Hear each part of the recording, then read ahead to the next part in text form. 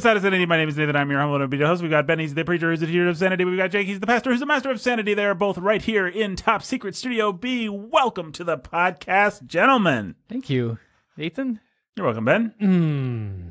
Hi, Jake. Hi. How are you? fine, fine. I'm fine. Well, listen, we've got some business. We need to discuss the ways in which people can help Warhorn Media, help Sound of Sanity. We are getting into the fundraising end of year push. And how much money does Warhorn Media need? Warhorn Media, if you don't know, maybe you only know us through this podcast. Warhorn Media is the our our overlords. They produce this podcast. I work for them. We all work for them uh, in various capacities. They produce all of our podcasts, or they produce. What would you say? we are Warhorn Media is the multimedia nonprofit ministry that oversees all these things, all of our podcasts, all of our music, all of our books. Right, associated with Evangel Presbytery, and which which also is which is the presbytery that has Church of the King as a church plant, the church that Jake is the head pastor and Ben is the assistant pastor of. What do you think about that, listener? It's all layers of connection. Pretty cool. Put that in your cork board. Do you imagine that there's people trying to solve the mystery of who we all work for and how? And they've got strings and corkboard and stuff like that. Grainy security cam photos. Green, grainy security. yeah. Just about the saddest. if he thinks this man in the hat, he is the Jake. He was seen as this part of Newburgh. Yeah, stuff like that. Very easy mystery to solve. We basically just laid it all out for you. Yeah. So I, I hope you didn't give your life to, to that particular. Anyway, we are trying to uh, raise some funds here at the end of the year. How much does Warhorn Media need to raise? We we project that we need sixty thousand dollars going into twenty twenty three. So yeah. so, how can people help us out with that? you can go to warhornmedia.com forward slash give and give a tax deductible donation in any amount, or you can sign up to support this show or any number of other shows on patreon.com. This one, of course, patreon.com forward slash sound of sanity. Yes. Personally, I'm I'm sincerely praying that we have ten people just sign up for six thousand dollars a month. Make things easy. Make things easy. That'd be sixty thousand dollars a month. That would make things real. Oh easy. yeah, no, no, yeah. I just meant one time donations, but I said it in a stupid wrong way that I did not intend to because I do not sleep because I have a newborn. But yes, I'm I'm hoping that ten people are just like I have six thousand dollars actually that I could give. And so if you're listening and you're one of those people, then and and you could really spread, then I appeal to you. But obviously, we've we've always believed greatly in the widow's might and greatly in uh, getting support from Joe podcast listener out there. And so any amount you can give, we really appreciate it. Yep. And did we said we said make one time? Did we say our, about our Patreon? Yes. Okay. All right. So that's the ask. That's what we need. Please uh, consider helping us out. You are the ones who keep Warhorn Media going. So thank you for that. Now, guys, let's talk more generally what's going on in the wide world of Warhorn Media and the projects that we're working on right now. We just finished The World We Made season three on abortion. It's all done. You can listen to all eight episodes over on the World We Made feed, available wherever fine podcasts are downloadable, except for Spotify. We don't use Spotify. They are evil. Believe me, if you're a producer you, on these things and you read their fine print, you will be scared. That's why we don't do it, even though it would be convenient for some of you that use Spotify. I like Spotify too, but listen, they'd own us. They'd own all the stuff. I don't want to give them that to Spotify. I'm sorry, they can't have it.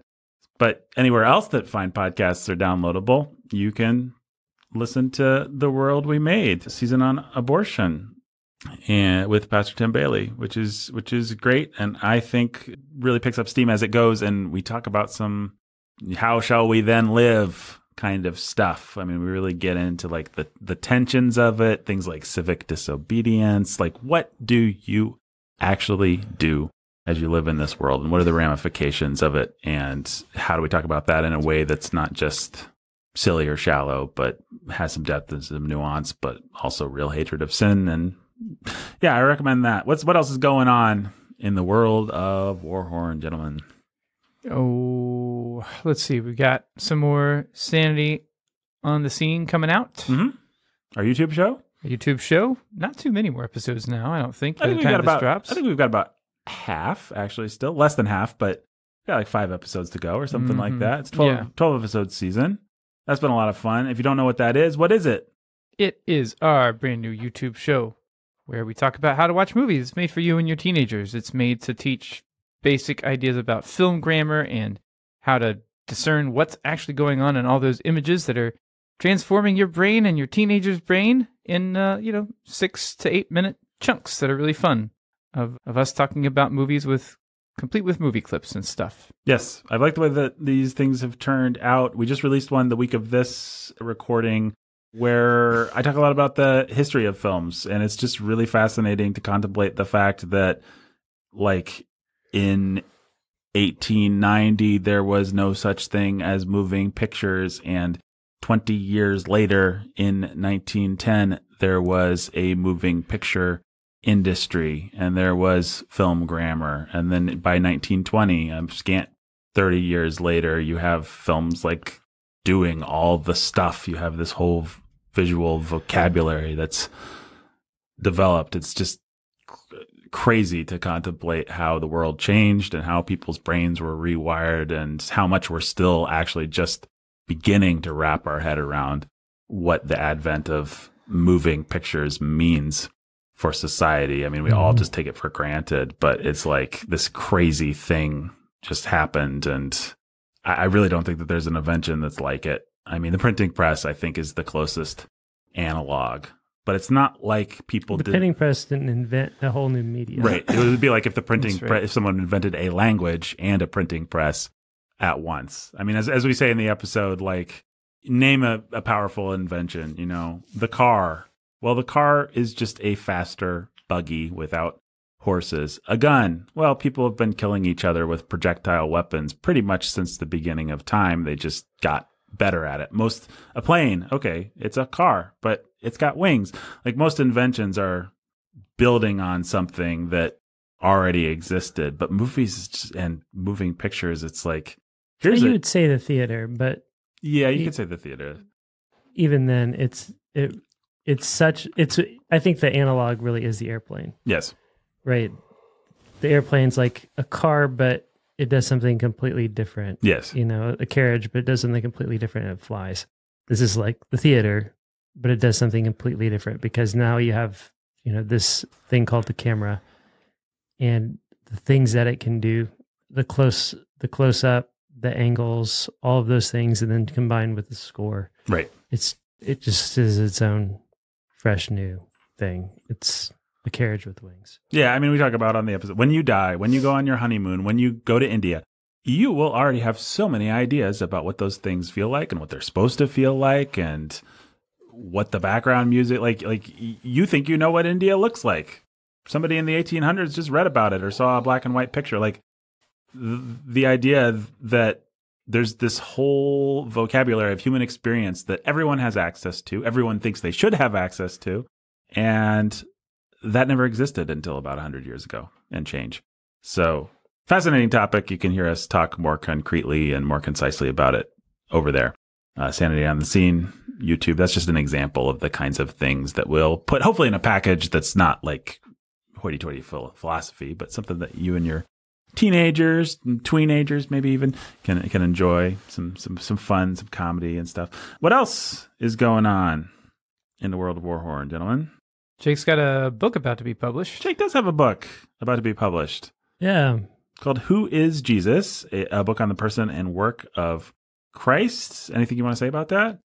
No, it's small, it's simple, it should be cheap.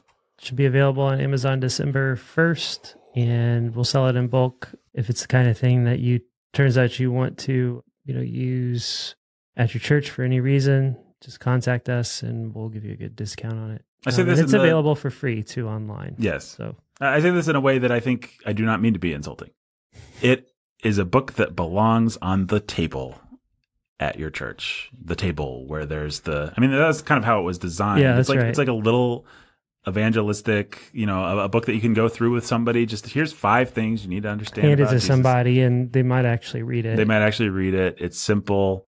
It's clear. It's laid out on the page in such a way that somebody might want to read it or find it easy to read. Yeah, we, our our church meets at the local YMCA, and our we have a really great relationship with the Y, and so one of the goals is well, let's have something that we can just have setting out at the Y.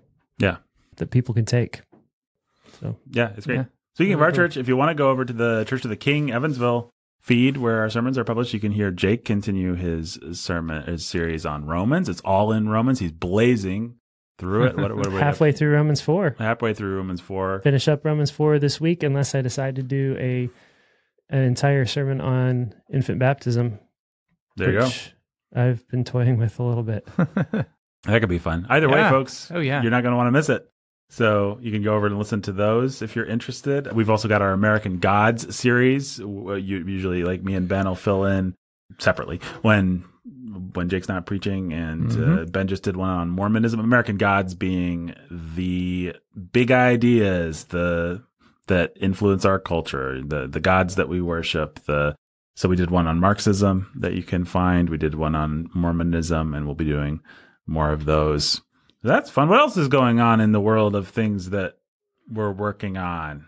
we have made some real progress, I think, on the final season of The Ville. Yes. I think maybe we talked about that last time, but it's We true. I'm I'm excited about it. Hmm. We also released the Nightmare on Cold Clutch Farm, the Chip and Lance thing. I hope you enjoyed that. I hope it wasn't too scary for your kids, but the right amount of scary. So, which I I realize, uh, what's the word? Something may vary on that. Your mileage. Your mileage may vary on how much you want something to be scary. But our aim was for like Harry Potter 1 through 3 level scary. I think that was what was kind of in my mind as the guidepost. Like, that seems to be a level of scary that people like. So we'll try for that level of scary. And I dare say we got at least there. But uh, yeah, so you can listen to that and you can look forward to, I hope, the Ville season three, Lord willing, in 2023. Don't want to make any promises we can't keep. Our cast lives in at least three different cities across these great United States of America, if you can even call them that anymore. But we're working on it. We're excited about it and just ready to hang out with Pastor Stu again. That's what we've all been saying to each other. What else is going on, gentlemen? We've got a revamped Out of Our Minds coming soon. Don't have much else to say about that besides that it's coming. It's coming. Bookening is reading Yes. Cormac McCarthy. Booking is in the month of December. We will be doing Tolkien's Letters to Father Christmas or From Father Christmas, which, if you don't know what that is, Tolkien really sweet. wrote a thing, some letters from Father Christmas. You can hear us talk about that. You can also hear a bonus episode that will drop, Lord willing, sometime mid December, I guess, on Cormac McCarthy's new novel, The Passenger, which is either I- one of these is true. They're not both true, but I'm not going to tell you which one. It's either really great or horrible. One of those two things is true. You'll It's either totally worth your time or definitely not worth Or it. definitely- definitely not worth your time. What what it's not is ah kind of in between. You know that was interesting. What no, it's Mhm. like it's going to get a strong reaction out of us. Yep. And I dare say most people who've read it, it's gotten one of those two strong reactions out of. It's not really a novel that you can respond to uh, by halves or whatever. And not meant to be. Yeah. No, no, it's meant to be divisive. All right, anything else? Sanity at the movies. We just finished watching something, and we're definitely watching the Christmas Carol stuff. Yeah, we're gonna do uh, the Stagecoach is what we just finished watching. We just finished watching Stagecoach, a wonderful western, really movie that made John Wayne a star. A lot of fun talking about that movie. A lot of fun talking about westerns. We ended up having Oh, yeah. a really great conversation just about the western genre and the westerns that we like and westerns that we want to watch and thing. eh, Westerns are just fun to talk about. So that was a fun episode, and you can hear some history of the European influence on the West that Ben found for us. Uh, not on the West, but on the Western Mhm. as a genre, as a literary genre. What was the name of the thing for the Fuhrer? The Fuhrer, the uh, what was that guy? oh man, he was he was talking about Karl May or whatever, and he said, Karl May, being a famous German Mhm. writer of westerns. yeah, he called him the cowboy mentor of the Fuhrer. Yeah, if you want to hear more about that, we, let's not tell people anything else, but that's a good episode to listen to. We've got, you know, recent episodes on Psycho. We did our Halloween episode. We did The Godfather not too long ago. Those have been the ones that I think have maybe people have really enjoyed. So check those out for some classic cinema discussion. And we will be doing an episode we're calling The Turn of the Scrooge, where each one of us has been assigned a different movie about that irascible gentleman, Ebenezer Scrooge. I will be watching. We, I'll, I'll be watching George C. Scott because I drew the long straw. Jake, I believe We had the middle straw. you drew the middle straw. You'll be watching Alastair Sim. Yep. An old short straw Sulzer. Hey, I was I willingly No, you you threw yourself on this grenade. I did. Yeah. I'm, I'm happy about it. I'm excited. I, I'm going to watch one of two old Christmas Carol movies, the 35 or the 38. One of them, I don't even remember which, is actually called Scrooge. And the other is called A Christmas Carol. Yes, and this is one of them star. I want to say Reginald Owen. That's perhaps? right, Reginald Owen. And the other one, I can't remember the dude's name. But I, I'm I'm interested to see both. Yeah. Well, I, I hope you come back and say, guys, Scott can rot and Sim can. Let's dim Sim and let Scott rot Yeah, because whatever one you're going to recommend will. Right. Because o- Owen is growing. Because Owen is growing. That's right. Yeah, there you go. Something like that. Yeah, good good times. You got to see that wonderful conceit that I just had, folks. Yeah. First it was a seed, and then you saw it blossom into pure podcasting gold, and then you saw it wither and die. Speaking of withering and dying, I think it's time for this podcast to wither and die, unless we have any other Warhorn news we want to share. Speaking of withering and dying, Warhorn Media might wither and die without your support. Without your support. That's right. That would have been a better segue. Yeah, go go to patreon.com forward slash sound of sanity. Or more importantly, if, if you want to just give us a one time kind of holiday gift or even set up more general reoccurring giving tax deductible, of course, go to warhornmedia.com forward slash give and you can do it there. Everybody, everybody, little bitter battle, battle, butter, paddle, muddle, battle, battle. Tweedle Beetles battle in the puddle with their paddles in the paddle paddles in a bottle and bottles on a poodle and the poodle's eating noodles. How many? Something. Yeah, Fox in socks, sir. that's right. Fox in Socks. Used to have that whole book memorized. I had to read it so many Uh, times. believe Don't me, anymore. I'm getting it memorized now, and I resent every moment of it. I do Oh, come on. I do not like him, Sam. I am. No, Uh, Fox in Socks is like the best of all of them. the thing That or is, one fish, two fish. was is it this very podcast? Was it in this recording where I started things by saying you guys' names really fast? Where I did that little Yep. cute I think bit so. of business. Yeah. I like doing that kind of thing. I like tongue twisters. I like talking really fast. It's something that gives me great joy.